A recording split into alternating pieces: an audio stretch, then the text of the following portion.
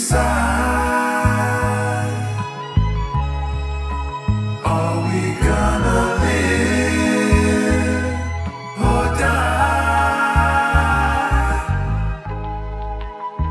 I was taking a walk the other day, and I seen a woman, a blind woman, pacing up and down the sidewalk. Seemed to be a bit frustrated,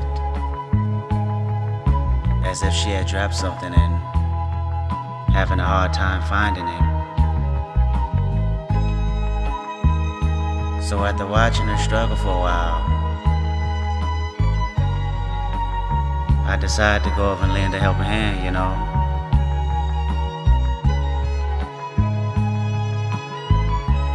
Hello, ma'am.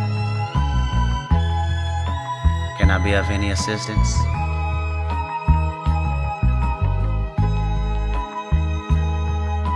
Seems to me that you have lost something. I would like to help you find it.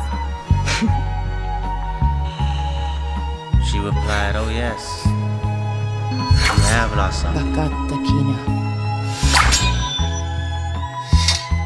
You've lost your life.